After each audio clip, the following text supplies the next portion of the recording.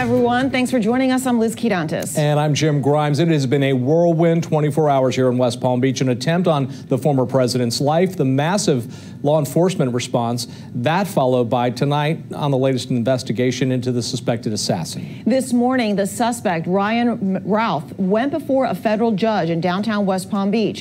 He is being held on two gun related charges as prosecutors look to keep Routh uh, detained while they continue the investigation into the more serious crime, that, of course, the planned assassination. Shortly after the Secret Service took shots at Routh on the golf course, he got into his car, raced away from the golf course, and Palm Beach County Sheriff's Office put out an all points bulletin for his arrest.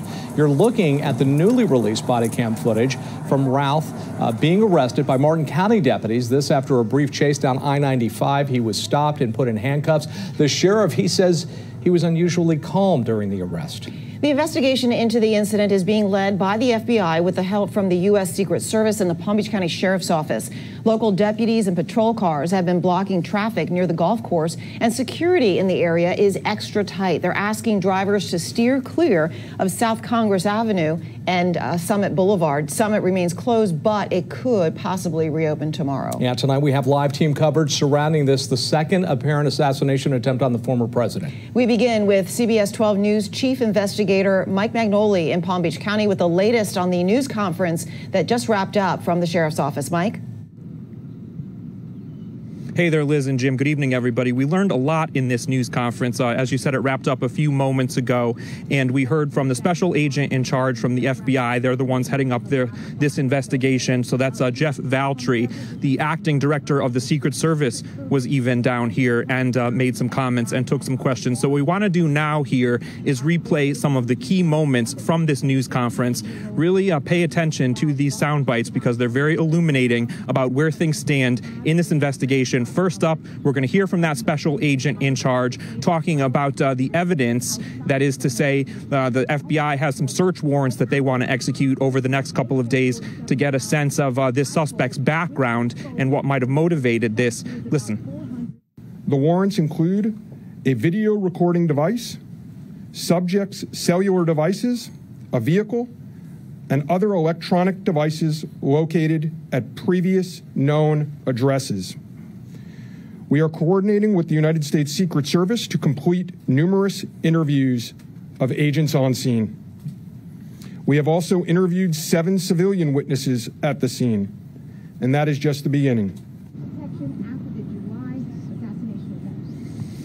Okay, so to dovetail off what you, what you just heard there, there's the GoPro camera that this suspect had. There's also his cell phone, that cell phone revealing that he was actually down here uh, and at the golf course 12 hours in advance of former President Trump playing this golf game. Next up here is a soundbite about what the suspect might have been thinking, um, the reason, and this is still early in the investigation, but there are some clues uh, as to what might have been behind this. Listen to this.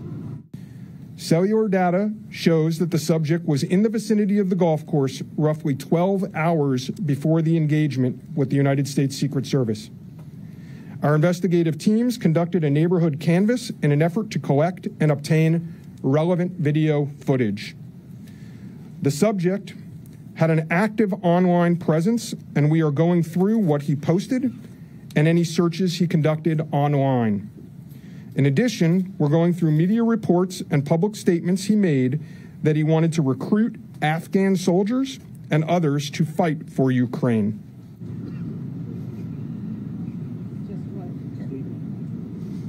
Yeah, he seemed to be very passionate about the war uh, between Russia and Ukraine. He even gave media interviews about that. So this is a cause that uh, he has been very, very involved with.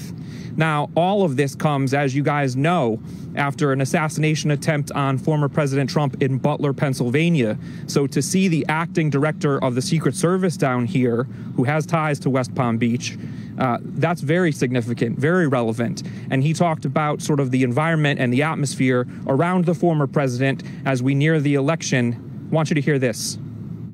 Yesterday afternoon, this country was reminded of the heightened and dynamic threat environment the United States Secret Service and its protectees face on a daily basis. Immediately following the assassination attempt of former President Donald J. Trump, on July 13th. The Secret Service moved to increase assets to an already enhanced security posture for the former president. In the days that followed, President Biden made it clear that he wanted the highest levels of protection for former President Trump and for Vice President Harris. The Secret Service moved to sustain increases in assets and the level of protection sought. And those things were in place yesterday. Back out with you live here. I did ask the special agent in charge from the FBI if this suspect acted alone. Did he have any help? He told me at this point, at this stage in the investigation, they think he was alone in this. I'm Jim Grimes. Click like and subscribe buttons if you want to see more stories like this that impact you.